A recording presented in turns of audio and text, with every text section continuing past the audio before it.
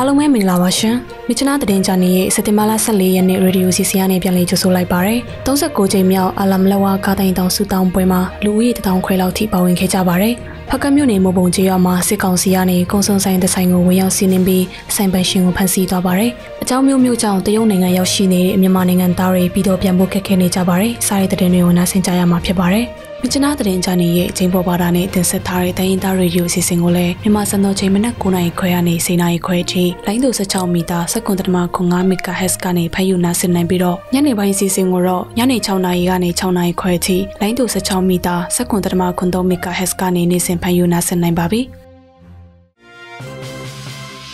39ချိန်မြောက်အာလမ်ဆူတောင်းတောင်းတောင်တက်ပွဲကိုလူကြီးတထောင်ခွဲဝန်းကျင်ခန့်လာရောက်ဆူတောင်းခဲ့ကြပါတယ် Grace ကတင်ဆက်ပေးမှာပါရှင်။ ကက်သလစ်အသင်းတော်ရဲ့36ကြိမ်မြောက်အလမ်ဆူတောင်းတောင်တောင်တက်ပွဲကိုလူဦးရေတထောင်ခွဲဝန်းကျင်ခန့်လာရောက်ဆူတောင်းခဲ့ကြတယ်လို့ပွဲဖြစ်မြောက်ရဲ့ကော်မတီတာဝန်ရှိသူစီကနေသိရပါဗျ။မိစာတရားတော်ကိုတောင်းပေါ်တောင်းအောက်နေနေရမှာ9ချိန်ပြုလုပ်ခဲ့ပြီး ပွဲလာသူအမြောက်အများနဲ့အောင်မြင်စွာပြုလုပ်ကျင်းပနိုင်ခဲ့ကြတာပါ။ပွဲက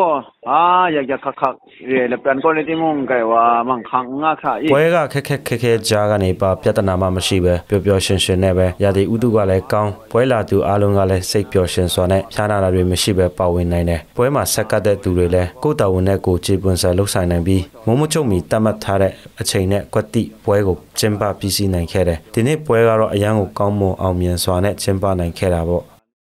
အလမ်လဝါကတိုင်တောင်ဆူတောင်းပွဲကိုလွန်ခဲ့တဲ့1983ခုနှစ်ကနေနှစ်စဉ်ကျင်းပခဲ့ကြတာဖြစ်ပြီး2020-21ခုနှစ်တွေမှာတော့ကိုဗစ်ကပ်ရောဂါနဲ့နိုင်ငံရေးအခြေအနေတွေကြောင့်ပိတ်ပင်ခဲ့ရပြီးအခုနှစ်မှာပြန်လည်ကျင်းပတာဖြစ်ပါတယ်။အလမ်ဆူတောင်းတောင်ဟာမြချီနာမြို့နဲ့15မိုင်ခန့်ကွာဝေးပြီးမြစ်ဆုံသွားလမ်းပေါ်ကအလမ်ကျေးရွာမှာတည်ရှိတာဖြစ်ပါတယ်။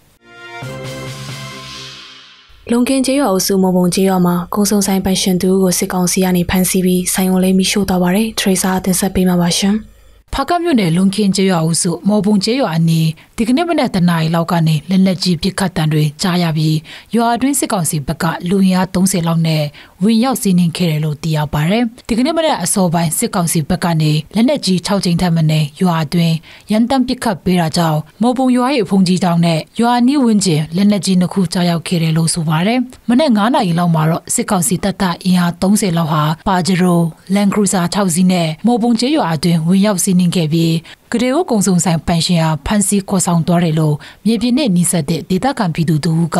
မြကြီးနားသတင်းကြနေကိုအခုလိုပြောပါရယ်ဝင်စီးပြီးပြန်ထွက်သွားတာအဲဒီဒီမောဥဆိုင်ကိုဝင်စီးကြတယ်ပြောတာဝင်စီးကိုကရေဥဆိုင်ကဆိုင်ပန်ရှင်ဖမ်းတော့တယ်အဲဒီဆိုင်ပန်ရှင်ကိုဖမ်းတယ်အဲ့ဆိုင်ကိုမိရှုထားတယ် နောက်ထပ်ဒေတာခန်တူရဲ့ပြောပြချက်အရကရေအိုကုံစုံဆိုင်ကိုမြည်ရှုခဲ့တဲ့အပြင်ဆိုင်ပိုင်ရှင်နဲ့အတူအမျိုးသားတူဦးကိုပါဖမ်းဆီးခေါ်ဆောင်သွားတယ်လို့ဆိုပါတယ်။လက်ရှိဒေတာခန်ပြည်သူတွေဟာနှိစက်ရနေရာတွေမှာထပ်ပြေးတင်းရှောင်နေကြတယ်လို့လည်းသိရပါတယ်။အကြောင်းမျိုးမျိုးကြောင့်တရုတ်နိုင်ငံရောက်နေတဲ့မြန်မာနိုင်ငံသားတွေနေရပြန်ဖို့ခက်ခဲနေကြပါတယ်။နာမည်မြတ်နေရာပေးဖို့ထားတာပါရှင်။ တရုတ်နိုင်ငံမှာရောက်နေတဲ့မြန်မာနိုင်ငံသားအချို့နေထိုင်ခွင့်လက်မှတ်မရှိတဲ့အတွက်အိမ်ပြန်ခြင်းပေမဲ့အိမ်ပြန်ခွင့်မရလို့အခက်အခဲဖြစ်နေကြောင်းတရုတ်နိုင်ငံရင်ကျောင်းမြို့မှာရောက်နေတဲ့သူတွေစီကသိရပါတယ်။နေထိုင်ခွင့်လက်မှတ်မရလို့တရုတ်ရေးတွေလာရောက်စစ်ဆေးရင်ဖမ်းခံရတတ်ပြီးထောင်ထဲတန်းထဲတယ်လို့လည်းရင်ကျောင်းမြို့မှာရောက်နေတဲ့အသက်30အရွယ်မျိုးသမီးတူကပြောပါတယ်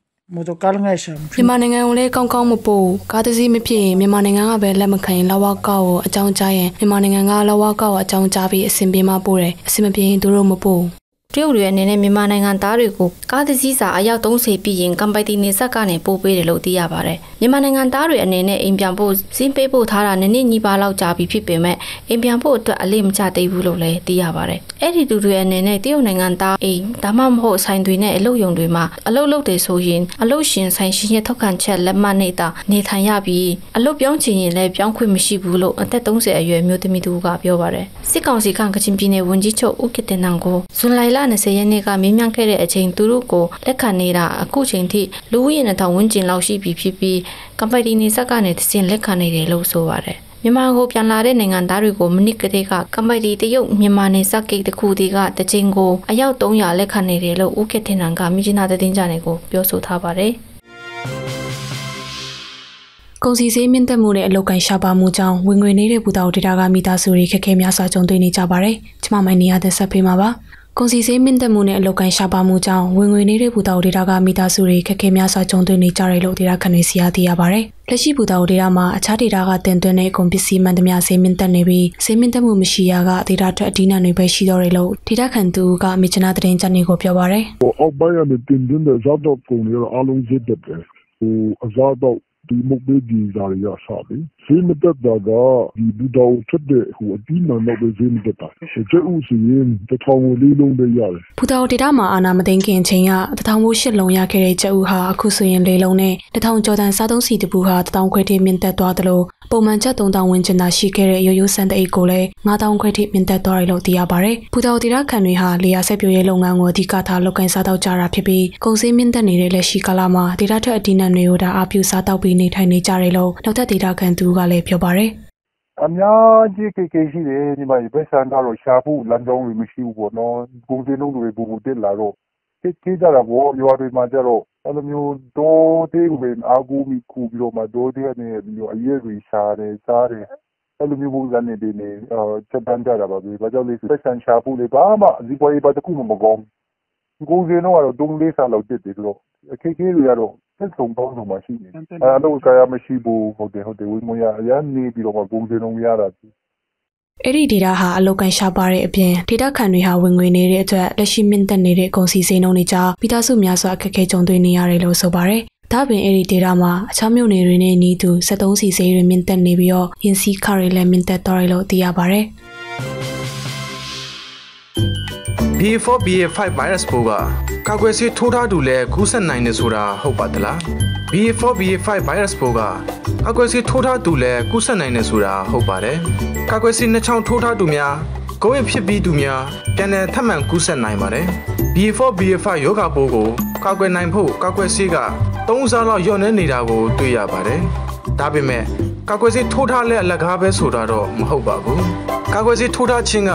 ယောဂကိုဆူဆူဝါမဖြစ်ရအောင်ခုခံပေးနိုင်တယ်လို့အသက်အန္တရာယ်မဖြစ်အောင်ကာကွယ်ပေးနိုင်ပါတယ်။ဒါကြောင့်ကာကွယ်ဆေးထိုးထားဖို့တိုက်တွန်းချင်ပါတယ်။ မြချနာသတင်းချန်နယ်ရေရေဒီယိုအစီအစဉ်ကိုအပတ်စဉ်သတင်းလာနေရနေတောက်ကြနေအထိည